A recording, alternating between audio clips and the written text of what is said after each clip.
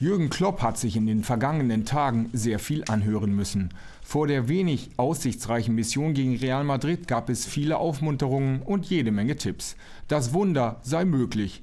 Dortmunds Trainer hält von solchem Gerede aber auch rein gar nichts.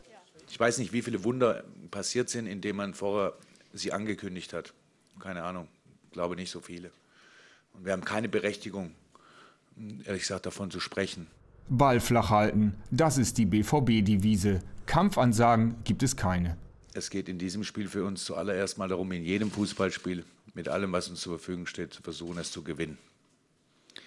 Und alle Ratschläge, von denen ich schon gehört habe, dass wir nach fünf Minuten idealerweise 1-0 führen müssen, damit überhaupt noch eine Chance besteht, kann ich nicht hundertprozentig nachvollziehen. Weil auch dann wären es noch 85 Minuten. Wenn du nach alles falsch machst, ist das völlig wurscht, wann du führst. Die Hoffnung auf ein Weiterkommen ist bei Jürgen Klopp längst noch nicht erloschen. Im Hinspiel hatte seine Mannschaft durchaus Chancen. Und noch gibt es die zweite Halbzeit, wie Klopp das Rückspiel gerne nennt. In der Champions League geht es nur darum, den Zeitpunkt des Ausscheidens so weit wie möglich nach hinten zu schieben. Letzter sind wir im Finale ausgeschieden sozusagen. Und dieser deutet eigentlich darauf hin, dass im Viertelfinale passiert. Aber noch ist es nicht so weit. Denn da wäre ja noch Robert Lewandowski, der im Hinspiel fehlte. Schon bei dem Namen zuckt scheinbar ganz Madrid zusammen. Das Schreckgespenst kommt zurück, schreibt das Sportblatt Marca.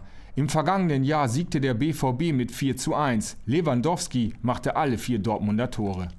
Wenn jemand denkt, dass ich kann auch wieder, äh, wieder vier Tore schießen, das, ähm, das denk, ich denke, ist ein bisschen ähm, verrückt, aber natürlich trotzdem, äh, wir wollen immer noch Gas geben und äh, 90 oder 95 Minuten äh, spielen, äh, wie das möglich ist. Und natürlich, wir spielen in Dortmund und wir sind immer hier gefährlich.